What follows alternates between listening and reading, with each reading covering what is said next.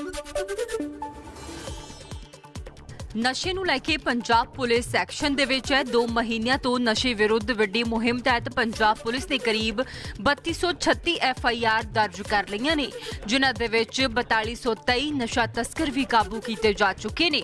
ਇਸ ਦੌਰਾਨ 328 ਕਮਰਸ਼ੀਅਲ ਅਤੇ 562 ਵੱਡੇ ਤਸਕਰ ਗ੍ਰਿਫਤਾਰ ਹੋਏ ਨੇ, ਜਿਨ੍ਹਾਂ ਤੋਂ ਪਿਛਲੇ ਹਫ਼ਤੇ 412 ਤਸਕਰਾਂ ਨੂੰ ਗ੍ਰਿਫਤਾਰ ਕੀਤਾ ਜਾ ਚੁੱਕਿਆ ਹੈ। 2 ਮਹੀਨਿਆਂ 'ਚ ਪੰਜਾਬ 'ਚੋਂ 322 ਕਿਲੋ ਹੈਰੋਇਨ 167 ਕਿਲੋ ਫੀਮ 22200 ਕਿਲੋ ਪੋਪੀ ਹਸਕ 145 ਕਿਲੋ ਗਾਂਜਾ ਅਤੇ 16 ਲੱਖ 90 ਹਜ਼ਾਰ ਨਸ਼ੀਲੀਆਂ ਗੋਲੀਆਂ ਵੀ ਰਿਕਵਰ ਕੀਤੀਆਂ ਜਾ ਚੁੱਕੀਆਂ ਨੇ। ਇਸ ਵੀਕ ਦੇ ਵਿੱਚ 326 ਐਫ ਆਈ ਆਰ ਦਰਜ ਹੋਈਆਂ ਔਰ 418 ਬੰਦੇ ਅਰੈਸਟ ਹੋਏ ਆ। ਔਰ ਇਹ, ਇਹਦੇ ਦੌਰਾਨ 42 ਕਮਰਸ਼ੀਅਲ ਕੁਆਂਟੀਟੀ ਦੀਆਂ ਐਫ ਆਈ ਆਰ ਹੋਈਆਂ ਔਰ 58 ਬੰਦੇ ਅਰੈਸਟ ਹੋਏ ਆ ਇਸ ਹਫ਼ਤੇ ਦੇ ਦੌਰਾਨ। ਔਰ ਰਿਕਵਰੀ ਜਿਹੜੀ ਆ ਇਸ ਹਫ਼ਤੇ ਦੇ ਦੌਰਾਨ, ਉਹਦੇ ਵਿੱਚ ਮੈਕਸਿਮਮ ਜਿਹੜੀ ਹੈ 48 ਕਿਲੋ ਦੀ ਰਿਕਵਰੀ ਹੈਰੋਇਨ ਦੀ ਹੋਈ